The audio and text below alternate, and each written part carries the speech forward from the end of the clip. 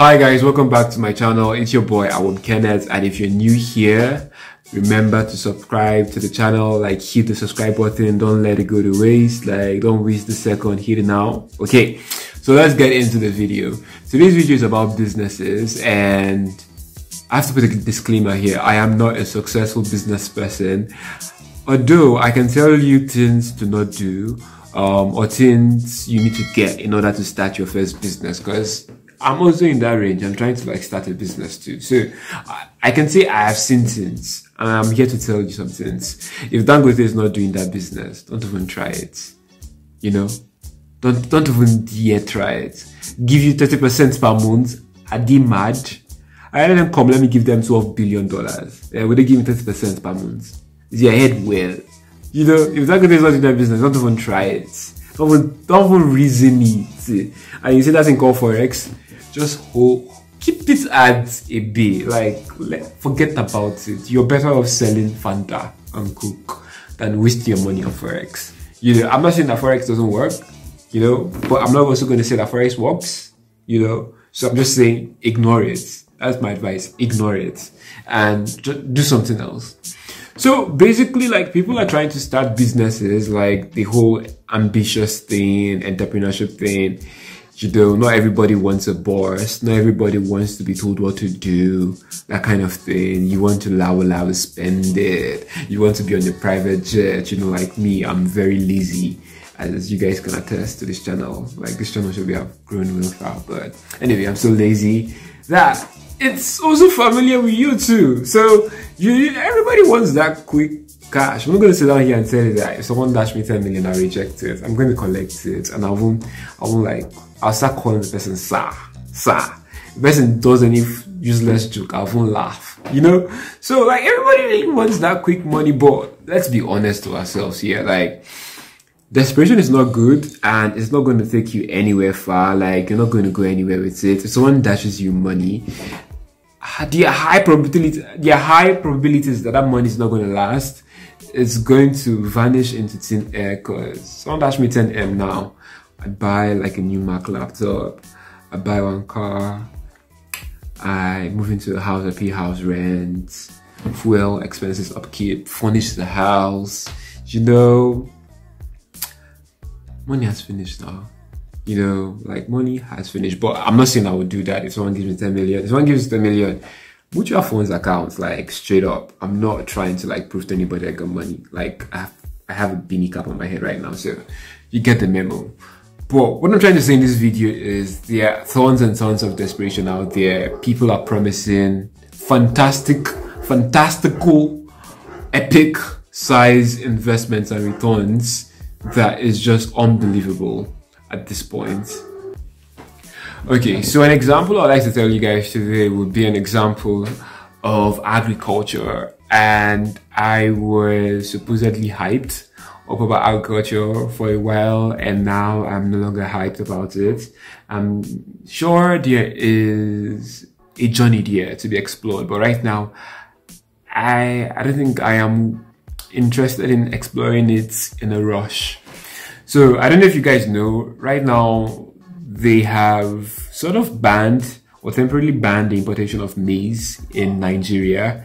If you're like me, you should be shocked that we were importing maize in Nigeria, and I just find it quite ridiculous to be honest, because like we farm, like there are lands here. I do not understand why we importing maize. You get? So I spent a lot of time talking with the farmer and he basically was very open and didn't tell me by the grace of God or give me some biblical you know, explanations to explain away some things that science, physics and maths and economics could easily do without me having to pray. And with that, I was able to like get a full understanding and depth of what I was about to get into when it comes to agriculture. Like it sounds very fantastic on paper. You plant maize, people want maize, we eat maize every day. Um, the industry wants maize. You need maize to feed your poultry. You need maize to for for fishery. You like you need maize for a lot of things, and it's yeah a cash crop. You get notwithstanding, but like the intricacies and the processes in which you have to start that is a lot. And it's not something that is being hyped up. It's something that you just one day wake up in the business and be like, oh my God, what have I entered? You get? And it just really shines more light on Nigerian stories and Nigerians telling their stories, especially like the successful ones, telling their stories of how they started and how they got there and how they also maintained their position at that level. You don't get a lot of stories without having appendages of, oh my God, God did that. I was at the office one day and I just got a call out of nowhere. You get people do not acknowledge that privilege and tons of luck and prayer, no pun intended, you know, visiting God are needed for these things. For example, you're seeing a very successful farmer, but you've forgotten that his farmer, his um, pedigree is stacked up with like hundred generations of farmers in his bloodline or something. But you who your parents have all been like civil servants for like the longest of time, haven't done there's no either of business or entrepreneurship in your bloodline. You're trying to start. First of all, you don't have the land, you don't have the space, you don't know the intricacies, something that will just come off of habits for the other guy you would have to watch tons and tons of videos on YouTube, right? And first of all, you don't have privileges that that guy has. Like the guy has a privilege of owning the land. You get? So you have to work more. I'm not saying it's impossible, but I'm saying that the struggle you have to do to be able to play catch up with the person that has privilege, whether the person that has privilege is using it wisely or not, playing catch up with that person is very hard and people don't really shine light on how hard that struggle is and what lessons to learn. You get those i think that's what that's what is more important and again if you want to start a business or any business or whatever you don't have the privilege of someone pushing you or um, let's say something happens to that business even though there's insurance something happens to that business where is your main capital? Where's the external capital you're going to go and plow from and fund that business again? A lot of people have backup capital or main capitals because for you to get into something, you need like consistent income coming into something, coming into you or your account before you can start experimenting about something else. So that's why you hear a lot of people say, don't just go leave. Make sure you have like enough capital, enough emergency funds, or just even stay in the business and just try to start up the second thing you want to start while you're still in that business.